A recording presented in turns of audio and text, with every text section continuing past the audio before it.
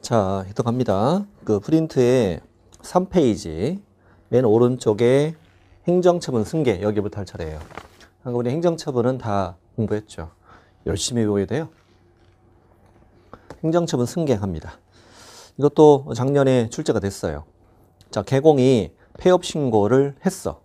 근데 다시 중개사무소 개설 등록했으면 폐업 신고 전에 개공 지위를 승계한다. 뭐 이 문장 어려운 문장 아니에요. 폐업 신고를 했다가 다시 등록하면 폐업 신고 전에 개공 지위를 승계하도록 하자. 그 밑에 문장 보면요. 2번 문장. 2번 문장은 이런 거예요. 자.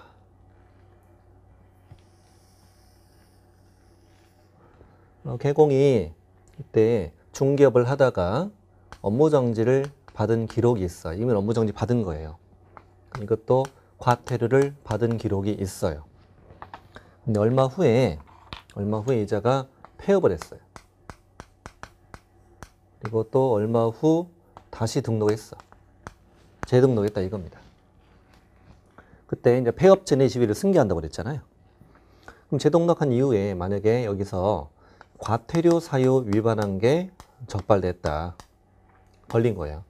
걸리면 어, 이게 과태료 앞에 업무 정지나 과태료나 그럼 이제 두 방 먹고 과태료 위반하면 뭐 준댔죠? 아까 업무 정지 줄 수 있다고 그랬잖아요. 근데 이게 이게 항상 과거의 것을 다 누적하는 건 아니고 이날부터 거꾸로 1년 이내 그렇죠. 잊으면 안 되는 게 최근 1년 이내의 것만 누적해서 세게 때리는 거잖아요. 이거를 근데 폐업하고 재등록했어도 계속 이걸 이어가겠다는 얘기잖아 지금. 그러니 이렇게 폐업하고 다시 등록을 했을 때 예전에 받았던 이 기록이 이 기록이 이날 뭐 된다 승계가 된다 이런 얘기인데 과거의 기록이 다 승계되는 건 아니죠. 이 재등록한 날부터 거꾸로 몇 년치 그렇죠 1년치가 이날 승계된다는 거죠. 최근 1년 이내에 이것 때문에 그럼 이제 법이 이걸 뭐라고 표현했냐면 폐업 전에 받은 업무정지는 그 업무정지 처분일부터 업무정지 처분일부터 1년간 재등록한 개공에게 승계된다. 다시 폐업 전에 받은 업무정지는 그 업무정지 처분일부터 1년간 재등록할 때 승계된다. 마찬가지예요. 폐업 전에 받은 과태료도 그 처분일부터 몇 년간 1년간 다시 등록할 때 승계된다. 이렇게 표현한 거예요. 그러면 폐업 전에 받은 업무정지, 폐업 전에 받은 과태료는 각각의 처분일부터 1년 안에 다시 등록할 때 승계된다는 얘기지. 폐업 전에 받은 업무정지, 폐업 전에 받은 과태료가 각각의 처분일부터 1년이 경과한 후에 재등록할 땐 승계되지 않는 것이. 그래서 처분일부터 1년간 이걸 통으로 외우셔야 돼. 째분일부터 1년간 거기 있는 것처럼 폐업일부터 X라고 잘 나와요. 폐업일부터 1년이 아니라 처분일부터 1년간. 그래서 2번 폐업 신고 전에 개공에 대하여 행한 업무정지 처분과 과태료 처분의 효과는 그 처분일부터 1년간 다시 등록한 적에 승계된다. 이렇게 내기도 해요. 폐업 전에 받은 업무정지 처분은 업무정지 처분일부터 9개월 후 재등록할 때 승계된다. 5. 폐업 전에 받은 과태료 처분은 그 과태료 처분일부터 13개월 후 재등록할 때 승계된다. X. 이렇게 내기도 한다고. 자, 됐어. 첫 번째가 해결했고요. 자, 그 다음 두 번째 박스. 그 아래에 있는 박스는 뭐냐면 비슷해요. 자, 이때 또 개공이 폐업을 했고 재등록을 했는데 재등록했는데 이제 이 기간은 이제 폐업 기간이라고 불러줘요. 폐업 기간. 근데 이번엔 폐업 전에 위반했던 사유가 있는 거예요. 폐업 전에 뭘 위반했었냐면 예를 들어 등록증을 대여한 적이 있었대. 등록증 대여는 절동치잖아요. 절동치. 있는데 아직 안 걸린 상태에서 폐업을 한 거예요. 그리고 얼마 후 재등록한 거예요. 근데 재등록한 이후에 폐업 전에 저 위반 사유가 적발이 된 거지. 적발됐을 때 이자에게 과연 등록 취소를 할 수 있느냐 없느냐 이거는 내용이지. 원칙은 할 수 있다는 건데 무조건 하냐 이게 주인 아니고 폐업 기간을 이제 따지는 거죠. 원래 이제 등록 취소되면 3년 동안 결격이 되잖아요. 그러니 이 폐업 기간을 기준을 몇 년 잡아서 기준을 3년을 잡아서 폐업 기간이 3년을 뭐 하면 초과하면 폐업 전의 저사유로 재등록한 이후에 저자에게 등록 취소하지 않고 폐업 기간이 그러면 3년 이하면 저 폐업 전의 저사유로 등록 취소할 수 있다는 얘기지. 근데 이렇게 등록 취소가 된 경우는 원래 몇 년 결격인데 3년 결격인데 여기서 뭐는 빼준다. 폐업 기간은 빼주더라. 이거 이제 명시돼 있죠. 만약에 2년 폐업했다. 그럼 폐업 전에 저 사유로 등록 취소가 되는 거지. 그럼 등록 취소되고 이자는 취소되고 1년 경과하면 다시 등록이 되는 거죠. 뭐, 뭐 이렇게 줘요. 뭐 2년이냐 4년 이렇게 줘요. 2년 그럼 폐업 전의 사유로 등록 취소할 수 있다. 4년 폐업 전의 사유로 등록 취소할 수 없다. 이렇게 그러면 돼.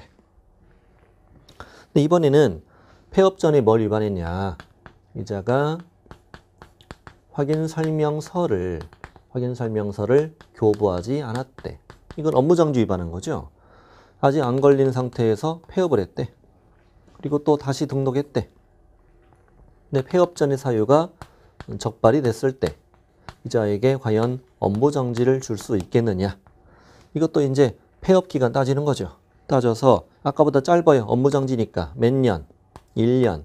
폐업 기간 1년 따져서 폐업 기간이 1년을 초과하면 저 폐업 전의 첫 사유로 업무 정지할 수 없고 폐업 기간이 1년 이하면 저 폐업 전의 저 사유로 업무 정지할 수 있다는 얘기인데 문제는 이거지. 문제는 업무 정지는 아무리 세봐야 몇 개월, 6개월인데 이 6개월에서 어, 폐업 기간을 빼버리면 남지 않을 수도 있어요. 왜냐하면 이게 1년이다 보니까 1년 이하면 7개월, 8개월, 9개월, 10개월, 11개월 이러잖아요. 이 경우 6개월에서 그걸 빼면 남는 게 없잖아. 그러니까 폐업 기간을 빼줘! 이렇게 정확하게 명시되어 있지는 않고 폐업 기간, 폐업의 사유 이거를 고려하여야 한다. 이렇게 만들어져 있는 거야. 적당히 빼라 이거죠. 이것도 이제 뭐 예를 들어 9개월 9개월이다. 그러면 폐업 전의 사이로 업무 정지할 수 있다. 13개월이다. 폐업 전의 사이로 업무 정지할 수 없다. 이렇게 문제 풀면 돼요. 자, 간단합니다. 자, 밑에 이제 그 박스 읽어보면은 1번, 2번을 묶어보시고 자, 폐업 후 몇 년 안에 3년 이내에 재등록한 개공에게 등록한 창은 저 폐업 전의 사유로 등록 취소할 수 있지. 근데 2번, 얼마 초과? 3년 초과 폐업한 후 재등록한 개공에겐 저 폐업 전의 사유로 등록 취소할 수 없는 거지. 3, 4번도 묶으시고 폐업 후 1년 이내에 재등록한 개공에겐 등록한 창은 폐업 전의 사유로 업무 정지할 수 있는 거지. 근데 1년을 초과해서 폐업하고 재등록한 개공에겐 폐업 전의 사유로 업무 정지 처분할 수 없는 거지. 근데 이게 좀 뭐가 또 헷갈리는 게 있냐면 왼쪽에 왼쪽에 맨 아래 보면 업무정지 박스 있잖아요. 업무정지 절차 기준. 거기서 4번을 보면은 업무정지 처분은 그 사유가 발생한 날부터 3년이 경과한 때는 일을 할 수 없다. 이걸 적용하면 이건 또 뭐냐 헷갈리는 거예요, 이게. 이건 뭐냐면은 다른 얘기예요. 이 업무정지 사유잖아, 지금. 업무정지 사유가 발생한 날부터 앞으로 몇 년이 경과하면 3년이 경과하면은 업무 정지를 할 수가 없다는 얘기야. 이건 이제 시효제도의 시효제도.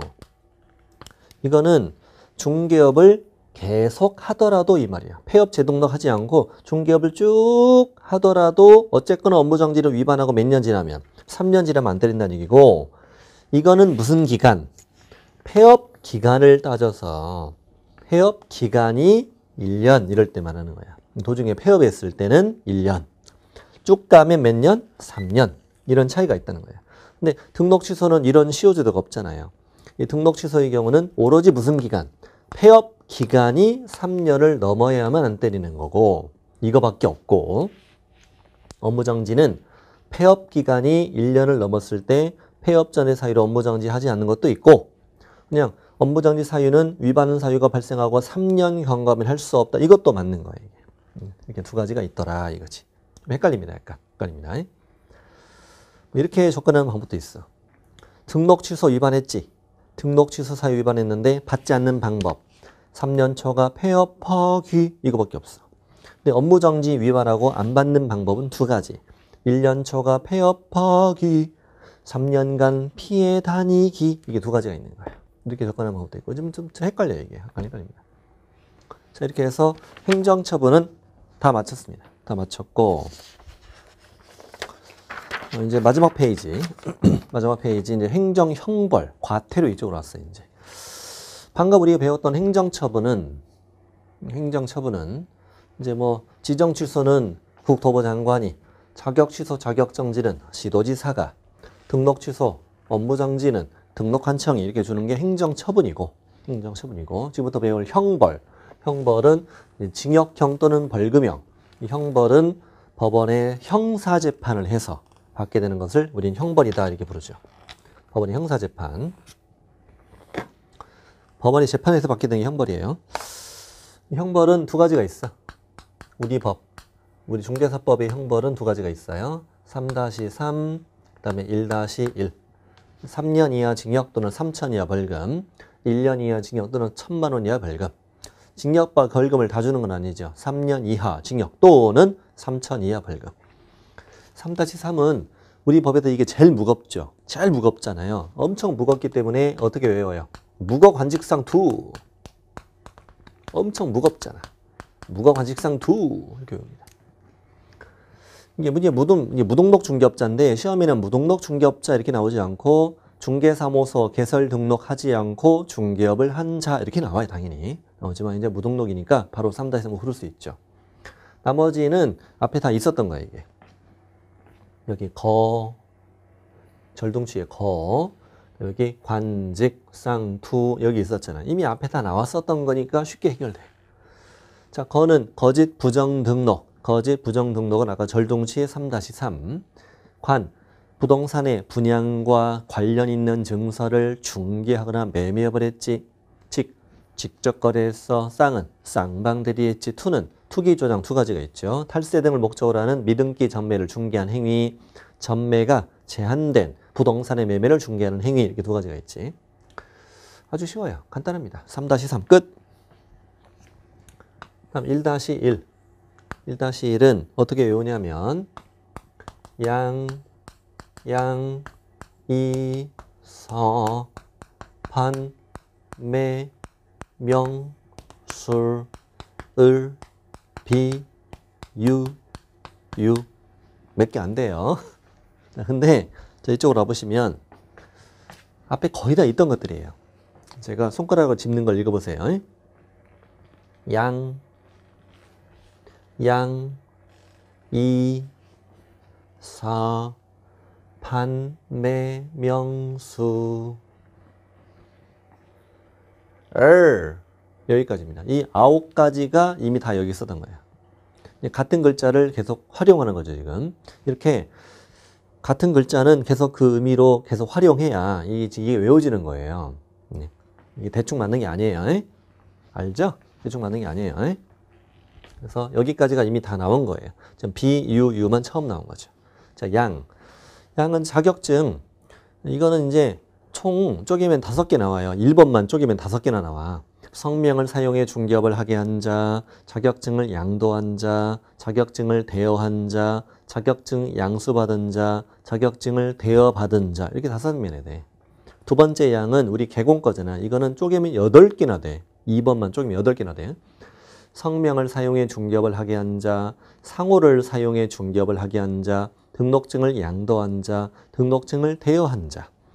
다른 사람의 성명을 사용해 중개업을 한 자, 다른 사람의 상호를 사용해 중개업을 한 자, 등록증을 양수받은 자, 등록증을 대여받은 자. 전부 다 일다실. 충분히 풀 수 있죠, 우리. 풀 수 있고. 이 두 개. 이중 등록, 이중 소속. 이중 등록, 이중 소속은 다 일다실. 개공이 개공 개공이면 어 뭐 이중 등록, 이중 소속 다 절등취죠. 절등취. 소공이면 이중 소속하면 자격 정지. 형벌은 일다실 당하는 거고. 다음 4. 이종 사무소 임시설물은 임등치 1다시. 좋아. 이건 절동시, 이건 임등치 이런 차이가 있었지? 자, 이 금지행위. 거래상 중요 사항에 관해 거짓된 언행 그 밖의 방법으로 중개 의뢰인의 판단을 그르치게 하는 행위. 매는 중개 대상물 매매업. 중개 대상물 매매를 업으로 했다. 명. 명은 우리 금지행에서 이렇게 외웠었잖아요. 자, 잘 그림 잘 보세요. 저자가 등록하지 않고 중개업을 하고 있는 자예요. 이 자는 현재 무등록으로 중개업을 하고 있는 자야. 무등록 중개업을 하고 있으면 이 자는 3-3이잖아요. 3인데 저자가 무등록 중개업자라는 걸 뻔히 알면서 알면서 그를 통하여 중개를 의뢰받았다. 누가? 개공이. 이 개업 공인중개사가 그를 통하여 중개를 의뢰받았다. 또 저자가 무등록 중개업자라는 걸 뻔히 알면서 그에게 자기의 명의를 이용하게 하였다. 이렇게 두 문장이에요. 이것도 하나만 내. 중개사무소 개설 등록하지 않고 중개업을 하는 자임을 알면서 그를 통하여 중개를 의뢰받은 경우 이것만 내는가? 또 등록하지 않고 중개업을 하는 자임을 알면서 그에게 자기의 명의를 이용하게 하는 경우 이렇게 나온다고. 그러니 이거는 우리가 명자로 외우니까 앞에 것만 나왔을 때도 신경 써야 돼요. 근데 이건 어떤 실수를 사람들이 잘하냐면 이 문장이 맨 앞에 어떻게 시작해요? 등록하지 않고 중개업을 하는 자임을 알면서 이렇게 시작하잖아. 그러면 등록하지 않고 중개업을 하는 자, 걔는 몇 년이야? 3-3이잖아. 이게 사람들 어떤 실수하냐면 여기까지만 읽고 3-3 이렇게 풀어서 실수를 잘한다고. 제가 어떤 말씀 드리는지 아시겠어요? 저자가 등록하지 않고 중개업을 하는 자임을 알면서까지 돼 있는데 거기까지만 읽고 3-3 이렇게 부르면 안 된다고. 알면서 그를 통하여 중개를 의뢰받은 개공 너. 너는 몇 년? 1-1이라고. 이걸 찾아야 되거든요. 헷갈려 이게. 그러니까 이 문장을 읽을 땐 항상 이 그림을 떠올려. 그림을. 뼈다고 두 개 서 있는 거. 그래서 문장 읽을 때 등록하지 않고 중개업을 하는 자임을 알면서 그를 통하여 중개를 의뢰받은 경우가 딱 읽히자면 읽히면 아 뼈다고 두 개 두 명 서 있는 거 그러니까 아, 아 맞아 맞아 맞아 1 다시 1 이렇게 문제 푸는 거야. 말도 안 되는 제가 그림을 해서 이렇게 하는 거예요. 이렇게 1 다시 1 이렇게 문제 풀어야 돼. 그렇게 해야 실수는 안 한다. 이거 실수 잘합니다. 조심해야 됩니다. 조심해야 됩니다. 자, 그에게 자기의 명의를 이용하겠다. 1-1 그림을 잘 외워놔야 된다. 명. 명은 이 그림을 항상 가지고 있어라. 자, 수, 중개 보수나 실비를 초과히 금품 받았다. 자, 을. 원래는 이제 을차 이렇게 했던 거죠. 거래동사업자가 개공으로부터 을 의뢰받자는 정보를 공개했거나 알 의뢰받은 것과 다르게 공개했거나 차별 공개했다. 자, B는 뭐예요? 업무상 알게 된 비밀을 누설한 자. 비밀은 1-1. 자, 유유. 뭐 유유라고 우리가 외우지만 칠 때 더 중요한 건 뭐예요? 개공이 아닌 자로서 개공이 아닌 자로서 또 공인중개사가 아닌 자로서 이 말이 더 중요한 말입니다.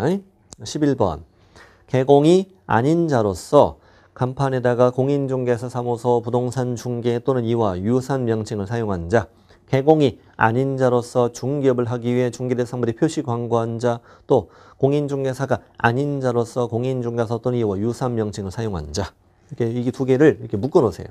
11번, 12번을 저처럼 이렇게 묶어 놓으세요. 이유가 있어요. 묶어 놓으세요. 이렇게. 자, 이게 형벌이다. 문제는 아주 단순해요. 3-3이 아닌 걸 찾아라. 1-1을 모두 골라라. 무조건 풀 수 있어요. 이거는. 이건 절대 안 과. 그대로 풀어야 되니까 반드시 문제 나옵니다.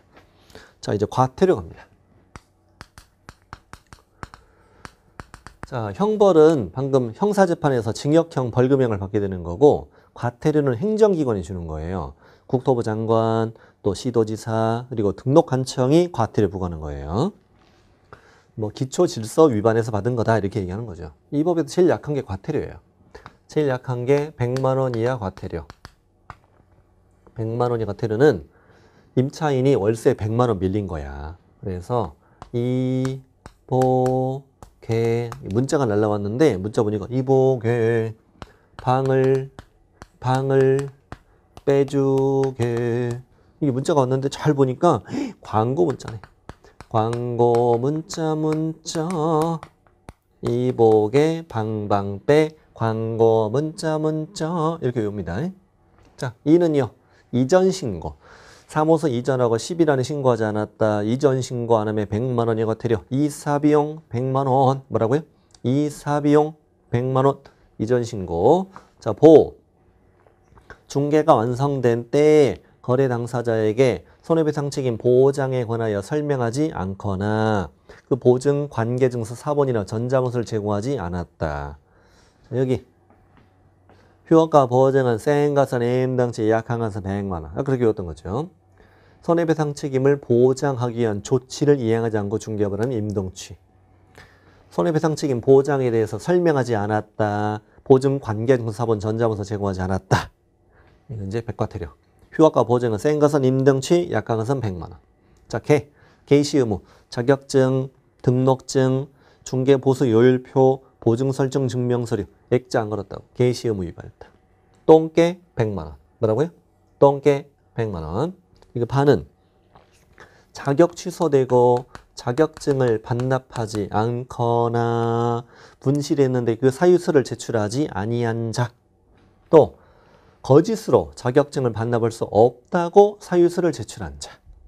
집에다 짱 박아두고 나 잃어버렸어 이렇게 사유서를 냈는데 걸렸다. 어떻게 걸렸을까 이걸? 모르겠네요. 어떻게 걸렸어? 공무원이 그랬지. 집에 있지 솔직하게 집에 있지요. 그랬더니 예 이렇게 더 걸린 거예요. 자격증. 자 반. 등록 취소되고 등록증 반납하지 아니한 자.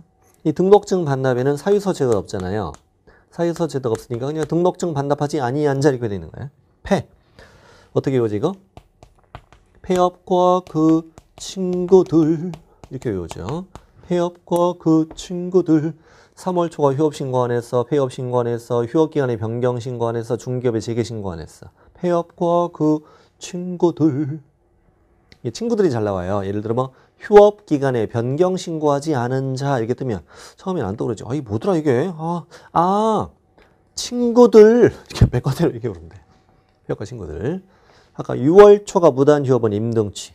부득이한 사유 없이 6월 초가 휴업하면 임등치. 3월 초가 폐업 신 휴업 신고, 폐업 신고, 재개 신고, 변경 신고 안 하면 백과태료. 자, 광고 문자 문자를 이렇게 묶어 놓으세요.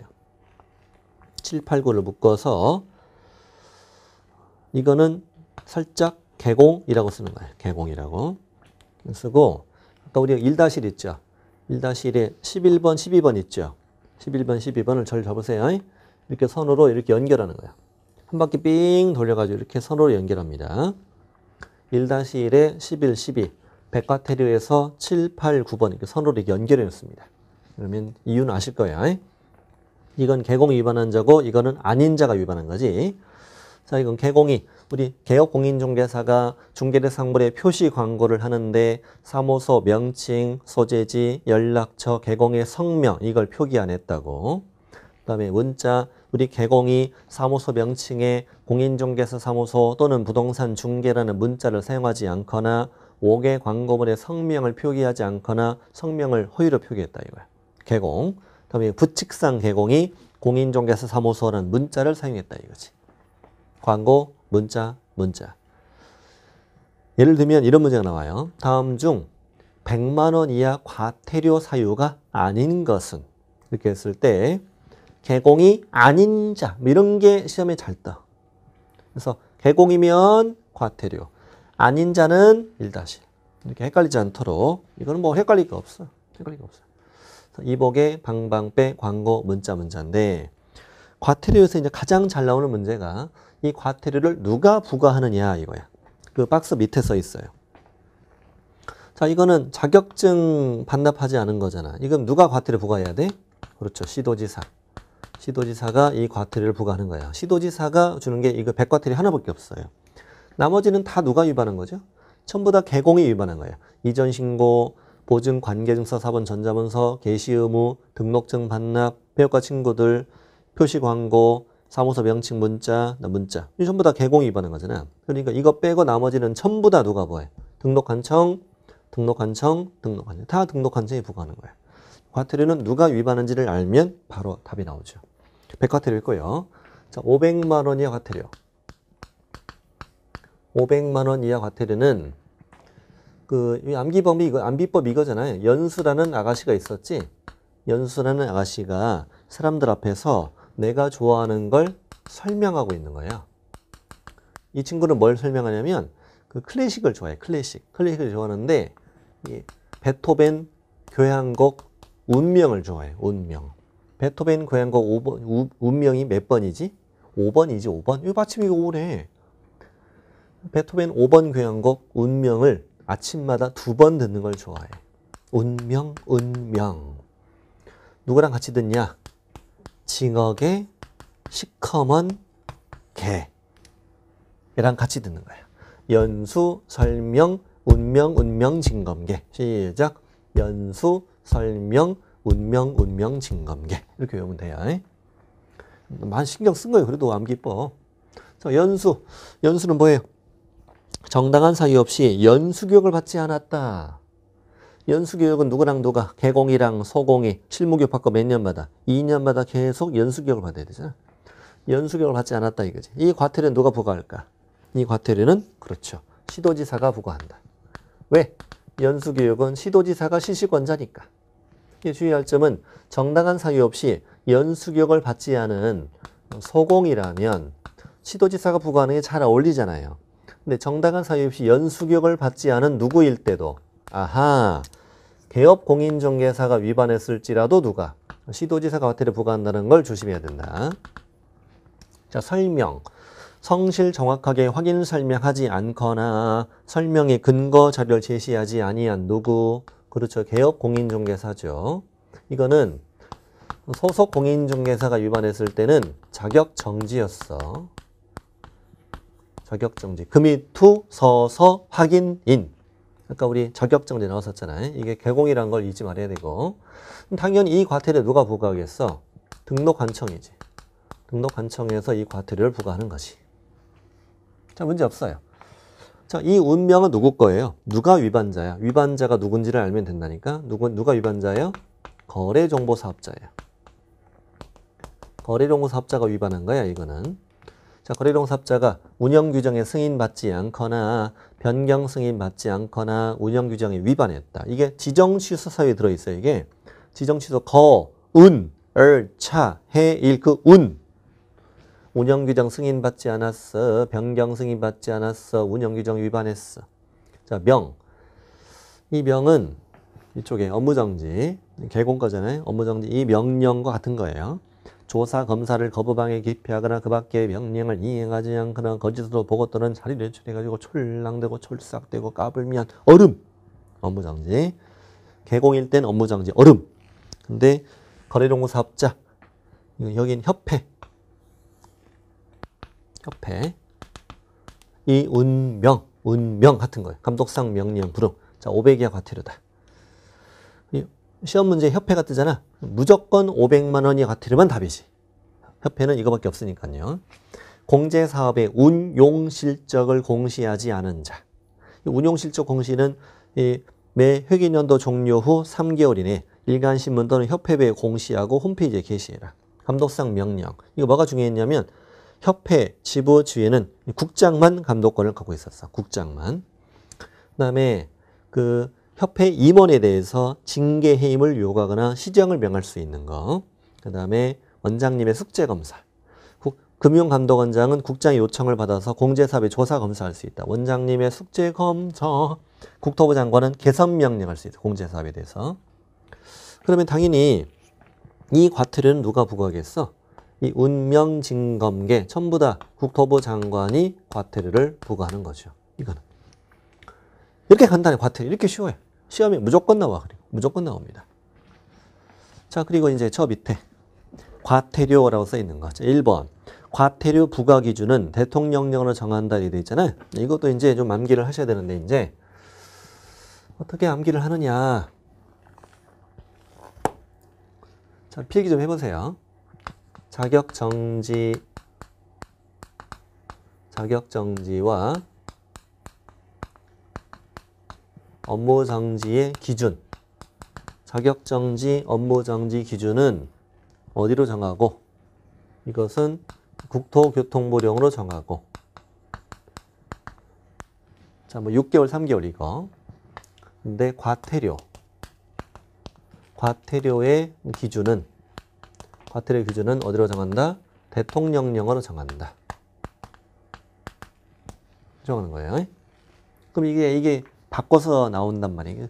짱 짜증나 이거. 그래서 이제 한쪽을 잘 외워야 돼. 과태료는 대통령령. 과태료 박근혜 이렇게요. 시작. 과태료 박근혜. 과태료 박근혜. 과태료 박근혜 이렇게 외워요. 혹시나 그분 팬 있으면 제가 죄송해요. 죄송한데 그 여자 아니고 딴 여자예요. 박근혜, 해, 썬, 해. 딴 여자야. 박근혜, 과태료 박근혜 이렇게 외우면 돼요. 실제 이제 이게 100만 원 이하도 어떤 건 20만 원, 어떤 건 100만 원 이하짜리, 100만 원 이하짜리, 어떤 건 20만 원, 어떤 건 30만 원, 어떤 건 50만 원 이래요. 이건 아직은 외울 필요 없고요. 나중에 마판 되면 알려드려요, 이것도. 500만 원 이하도 어떤 건 200만 원, 어떤 건 300만 원, 어떤 건 400만 원, 어떤 건 또 500만 원 그래요. 이것도 기준이 다 만들어져 있단 말이야. 100만 원 이하고 500만 원 이하니까. 기준이 여기 대통령령이 있고 자 2번 마찬가지야. 동기, 결과, 횟수 등을 고려해서 2분의 1 범위 안에서 늘릴 수도 있고 줄일 수도 있지. 다만 늘려도 각각 500, 100을 초과할 수는 없다는 말이지. 행정처분 벌칙을 다 끝냈고요. 다 끝냈고 기본서를 좀 보세요. 이제 기본서 정리 좀 해드리죠. 기본서 248쪽 248쪽부터 어, 좀 정리 좀 해볼게요. 248. 자, 위에 처분권자 알죠? 행정처분 유형, 지정 취소 할 수 있다. 자격 취소는 해야 한다. 자격 정지는 소공만 개공 대상으로 안 된다. 그리고 등록 취소, 등록 취 절동치, 임동치, 개공만 업무 정지는 개공만 대상으로 소공 대상으로 하면 X. 보조원 행정처분 대상이 아니다. 저 밑에 그 주의 있죠, 주의. 주의가 왜 틀렸어요? 시도지사는 중개행위에 등록하지 않은 인장을 사용한 개공에게 6월 범위 내에서 자격 정지할 수 있다. 왜 틀려? 개공이 아니라 소공 들어가 있나 소공. 자격 정지니까 개공이 아니라 소공 들어가야 돼요. 자, 밑에 절동치는 어, 절동치니까 업무 정지할 수 있다면 X. 자, 임동치는 등록을 취소해야 한다면 X. 등록을 취소할 수 있다. 업무 정지할 수 있다는 O. 그 다음에 이제 최근 1년인데 임등치 1회 위반한 자는 또 업무 정지 이렇게 되는 거죠. 근데 주의는 아까 했던 지문이고요. 자, 지정 취소 있고요. 지정 취소 할 수 있다. 그다음 밑에 청문도 있고. 뒤로 갑니다. 자격 취소. 시도지사는 다음에 네 가지는 자격을 취소해야 한다. 부양지역. 밑에 표를 좀 보시면요. 표. 250쪽 보고 있죠. 250쪽에 그 하단부 표. 징역형, 벌금형에 따른 행정처분이라고 써 있잖아요. 자, 공인중개사법 위반에 징역형을 받으면 자격 취소잖아요. 징역형의 집행유예 받아도 자격 취소가 돼요. 왜냐면 징역형을 선고만 받으면 되거든요. 선고는 받으면 집행을 하든 집행을 유예하든 상관없어요. 징역형 선고 받으면 어, 자격 취소가 돼요. 집행유예더라도. 하지만 이 법이 아니라 다른 법을 위반해 징역을 받으면 자격 취소가 아니겠지. 하지만 우리 결격 사유는 이 법이든 저 법이든 따지지 않잖아요. 따지지 않고 다 결격 사유 들어가죠. 밑에 표를 보면은 제목이 공인중개사인 개업공인중개사잖아요. 제가 형벌을 받는데 이 법 징역이면 자격 취소도 되고 결격이니까 절동 취소 되고 다른 법 위반이면 자격 취소는 아니고 절동치는 되죠. 또 중개사법 위반해서 300만 원 이상 벌금형 받았다면 자격 취소는 아니고 절동치는 되는 거지. 다른 법으로 벌금 받으면 그냥 아무것도 아닌 거지. 아무것도 아닌 거고. 자, 오른쪽에 자격 취소 서분권자 아까 다 정리했던 거예요. 정리했던 거고. 보충학습도 자, 읽어 보시고 보충 밑에 주의 교부한 시도지사랑 사무소 시도지사가 다르면 교부한 시도지사가 취소 처분에 필요한 절차를 이행한다 그러면 틀리지. 사무소 시도지사가 2번 문장은 앞뒤가 바뀐 거고 네. 청문. 시도지사 자격 취소 청문. 자격 정지 안 된다고 했고 보고 통지. 시도지사 자격 취소했구나. 5일 안에 국장한테 보고 다른 시도지사 통지. 자격 정지 이러면 다 안 된다고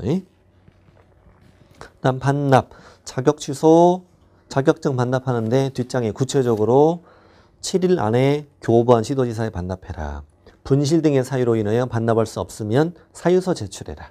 자, 4번 자격증 반납하지 않거나 반납할 수 없는 사유서를 제출하지, 제출하지 않은 자, 또 거짓으로 반납할 수 없는 사유서를 제출한 자, 다 시도지사 100만 원이 과태료 아까 배웠던 거. 그럼 자격 취소되면 3년 동안 공인중개사 들수 없고 결격 사유도 되니까 중개 보조원도 될 수 없는 거죠. 다음 첫 밑에 자격 정지. 시도지사는 소공에게 6월 범위 안에서 자격을 정지할 수 있다. 금이 투 서서 확인 했습니다. 금지행위 다 열거돼 있고요. 253쪽의 심화학습. 아까 다 필기하셨던 거야. 전속중개계약서 사용 안 했어, 보존 안 했어. 업무 정지 O, 자격 정지는 X. 확인 설명서, 거래 계약서, 교부 안 했어, 보존 안 했어, 업무 정지 O, 자격 정지 X. 근데 확인 설명서, 거래 계약서, 서명 및 날인 안 했어, 업무 정지 O, 자격 정지도 O다. 근데 자격 정지 처분권자는 자격 취소 처분권자하고 똑같아요. 들어가면 우리 등록 관청이 자격 정지 사유를 알게 되면 못 때리니까 지치 없이 시도지사에게 통보하랬지. 자격 정지 기준은 국토부령으로 정하고 밑에 이제 6과 3으로 만들어져 있고 그 다음에 2분의 1 좋아 6월 초과할 수 없다. 저 밑에 효과는 뭐냐면 다 아는 거예요. 자격 정지 기간 중에는 결격 사유예요. 자격 정지 기간 중인 자 그러면 결격 사유입니다. 그다음에 자격 정지 기간 중에 중개업하거나 다른 개공에게 소속되면 그땐 자격 취소가 되죠. 자, 오른쪽에 문제 하나 풀어볼까요? 자격 취소, 자격 정지 옳은 걸 찾아라. 옳은 걸 같이 풀어보죠. 1번 시도지사는 1번에 틀렸어요. 그렇죠. 자격 정지 이건 국장한테 보고하지 않죠. 자격 취소 들어가야죠. 2번은 자격 취소된 자 5년 경과되지 않으면이 아니라 3년이 경과되지 않으면 공인중개사가 될 수 없다. 3번 공인중개사가 자격 정지 받은 기간 중에 다른 법인인 개공에 사원이 됐다. 자격 취소. 좋아요. 4번 자격증 교부한 시도지사와 사무소 시도지사가 달라. 국장이 자격 취소해? 뭐 공법이야? 아니고 교부한 시도지사가 자격 취소하는 거죠. 5번은 자격 취소되면 며칠 안에 7일 이내에 반납해야죠. 자, 할만하네. 뭐 이 정도 수준이 시험에 나왔던 문제예요. 나왔던 문제고. 저 밑에 절동치. 등록을 취소해야 한다. 절동 절대 업무 정지 안 되는 거. 해, 결, 결격서에 쭉 써준다고. 성년 후견, 한정 후견, 개시심을 받았다. 파산 선고, 위법 저부 안 따지고 금고징역 실형 선고, 위법 저부 안 따지고 금고징역 집행유예, 자격 취소, 벌금, 위법 300 이상. 다음 페이지. 사원 임원. 사원 임원이 결격인데 두 달이 해소하지 않았다. 거, 양, 이. 5번, 6번이 이종 등록, 이종 소속. 7번 G. 업무정지 기간 중에 중개업을 해서 자격정지 받은 소금 일시켰어. 협박죄, 절동취, 업두개 먹고 업 위반했어. 자, 임등취, 등록을 취소할 수 있다. 등록을 취소할 수 있다야. 등록을 취소해야 한다. 그럼 X. 업무 정지할 수 있다는 O. 우리 님은 조금 모지라. 셔셔셔는 업무 정지, 센셔는 임등치, 거짓길의 투기약서. 판매 명수, 관직상토, 금지인은 임금. 전, 속 중개 계약을 체결하고 정보를 공개하냐는 김치전. 전, 속 중개 계약을 체결하고 비공개적 책임은 빠전. 보증 휴업, 휴업과 보증은 센 것은 임등치, 약한 것은 100만 원. 7번 이중 사무소 임 실시설물은 임등치 1-1. 그 다음에 법인 겸업 위반 임겸업 세방 먹고 업이나 거를 위반하면 임등치인데 업 앞에 업두개만 절동치. 10번은 시정지 과징금을 2년 이내 2회 이상 임등치. 오른쪽에 등록 취소 절차. 등록관청이 등록 취소할 때 청문해야지. 청문. 사망해사는 안 하고 그 다음에 등록 취소 동그라미 2번 7일 이내 등록관청에 등록증 반납. 다만 등록 취소된 경우로서 법인이 해산한 경우 해산으로 취소된 경우는 대표자 이었던 자가 취소되고 7일 이내 등록증을 반납해라. 100만 원이 과태료. 밑에 주의는 시험에 안 나왔어요. 우리 자격 취소됐을 때 반납할 땐 분실 등의 사유가 있으면 사유서 제출 제도가 있잖아요. 네, 등록 취소돼서 반납할 땐 사유서 제출 제도가 없어요. 자, 등록 취소 지체 없이 간판 철거. 자, 절동치는 업무 정지할 수 있다면 틀린다. 임등치는 반드시 등록 취소해야 한다. X. 등록을 취소할 수 있다. 업무 정지할 수 있다. 다 맞고 최근 1년 이내 1회 위반한 경우도 업무 정지라고 답한다. 네, 좋아. 아주 훌륭해. 다음 페이지 지문 연습. 등록증 대여 절동치잖아요. 업무 정지 X. 중개 보수 초과 임등치잖아. 금쟁이니까 등록을 취소해야 한다. X. 취소할 수 있다. 최근 1년 동안 법인이 겸업 위반을 1회 위반하면 업무 정지할 수 있다. 맞는 거죠. 임, 임등치인데 업무 정지 가능한 거잖아요. 하는 거죠. 밑에 등록 취소 효과는 뭐 이거는 우리 저 앞에서 결격사에서 배웠던 거예요. 우리 이제 원칙적으로 이중 등록이나 이중 소소, 등록증 대여나 이런 걸로 등록 취소되면은 취소되고 3년이 경과되지 않는 자는 결격이죠. 근데 등록 기준 미달, 법인의 해산 이 두 가지로 등록 취소된 경우는 결격이 아니다. 이런 것이었지. 두 가지 중요하죠. 또 결격 사유로 등록 취소된 경우는 그 결격 사유가 해소됐을 때 다시 개공이 되는 거죠. 이때 참고는 뭘 안 봐도 돼요. 오른쪽에 심화학습 최근 1년 시리즈 됐지. 업, 업, 업 이건 절등취. 과세개 먹고 업이나 과류 위반하면 다 임동치. 과두 개, 업 하나, 업이나 과 위반하면 다 임동치. 과나 업두 개는 업 위반하면 절동치, 과 위반하면 임동치. 과 앞에 두 개는 다 업무정지. 밑에 업무정지는 6월 범위 안에서 업무정지 줄 수 있다. 개공한테. 자, 임, 최, 결, 정, 셔셔셔. 뒷장까지 셔셔셔. 명령, 인, 시. 12번까지 걸쳐 있죠. 좀 느려, 느려 쓴 거예요. 13번, 14번은 몰라도 돼요. 몰라도 되고. 읽지 마세요. 업무 정지 기준도 국토부령으로 정한다. 아까 다 했었죠? 666, 6. 중개대상물의 정보를 거짓 공개하면 6. 거래 사실 지체 없이 통원하면 3. 3, 3, 3, 3, 3. 이게 되는 거죠. 2분의 1. 범위의 가중 경감. 가중에도 6월 초과할 수 없다. 다음에 이제 262. 행, 업무정지 시효제도. 업무정지 처분은 위반 사유가 발생하고 3년 경감을 할 수 없다. 업무정지에만 이 제도가 있으니까. 밑에 주의 문제 풀어보시면 이해가 되겠죠.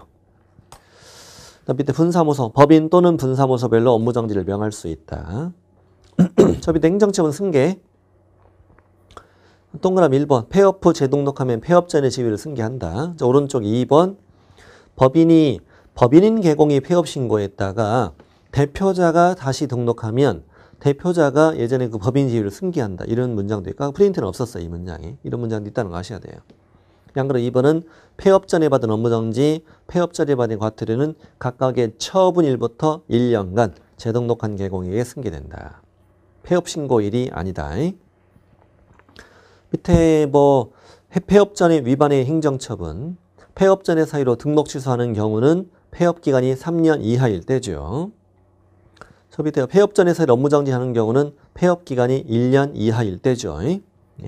그 대신 동그라미 2번 등록한 창은 재등록한 개공에게 폐업 전의 사유로 행정처분할 땐 폐업 기간, 폐업의 사유 등을 고려해야 한다. 업무정지는 고려해서 줘라 이거야. 등록 취소는 폐업 기간을 빼주고 아예. 다음 페이지 폐업 전의 사유로 행정처분하지 않는 경우 3년 초과 폐업, 폐업 전의 사유로 등록 취소할 수 없고 폐업 1년 초과 폐업, 폐업 전의 사유로 업무 정지할 수 없더라. 예제도 한번 풀어보시면 충분히 풀 수 있을 거예요. 1번은 폐업 기간 2년이고 2번은 폐업 기간이 역시 2년인데 등록 취소 업무 정지 그 차이지. 충분히 풀 수 있고요. 자, 오른쪽에 문제도 뭐 편안한 문제야. 절동치가 아닌 걸 찾아라. 절동치 아닌 건 무조건 임동치가 답이랬잖아요. 네. 됐어요. 밑에 이제 형벌 쪽은 그냥 읽어보시면 돼요. 읽어보시면 되고. 그리고 이제 그 뭐 267쪽 가보면 267. 저 밑에 양벌 규정이 있잖아요. 양벌 규정이 우리 고용인 파트에서 배운 내용이 또 나와요. 이게 소공 보조원이 3-3 또는 1-1 이걸 위반해서 징역 또는 벌금형 받을 때 그 개공에게 이 관리가 소홀했던 이유로 어, 해당 조에 규정된 벌금형을 과한다 이거지. 관리 소홀을 이유로. 그래서 이게 면책 규정이 있었죠. 위반 행위를 방지하기 위해 상당한 주의와 감독을 게을리 하지 않으면 이때는 벌금형을 아예 받지 않는다 이렇게 돼 있잖아요. 밑에 양보 규정의 내용 한번 읽어보세요. 읽어보시고 그리고 다음 페이지 면책 규정이 있고요. 그럼 쭉 한번 읽어보시면 아주 좋을 거예요. 네, 문제도 풀어보시고 뭐 쉬운 문제니까 오른쪽 과태료도 있어. 500만 원 이하도 있고 그다음 뒷장에 이제 100만 원 이하도 있고 뭐 이거는 뭐 어, 한번 보시면 돼요. 다 했습니다. 다 했고 다음 시간에는 이제 공인중개사법을 마치고 부동산 거래 신고 등에 관한 법령으로 들어갑니다. 다음 시간에 뵙겠습니다.